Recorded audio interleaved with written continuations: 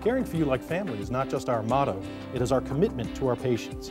At Texas Hills Urgent Care Centers, our highly trained nurses, physicians, and staff know that your health and your family's health are important. With weekend and evening hours, Texas Hills Urgent Care Centers is here for all your family's health care needs, including treatment for illnesses, injuries, school and travel vaccinations, as well as many other services.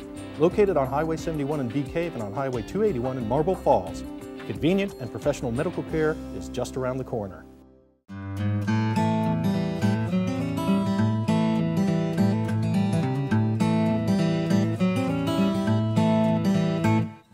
Hi everyone, I'm Amber Weems and this is the Picayune Roundup. Thanks for joining me. The figures are in and the city hosted spring break activities have proved successful in Marble Falls.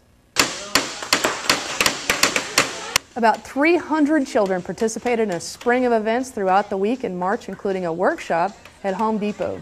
As you can see, these tiny tots packed quite a bit of muscle when it came to designing and building birdhouses, picture frames, and other woodwork. The Parks and Rec Department hosted the recreational and learning activities for free. One of the highlights included a movie day at Lakeside Pavilion. The children were treated to snacks and drinks while watching Toy Story 2.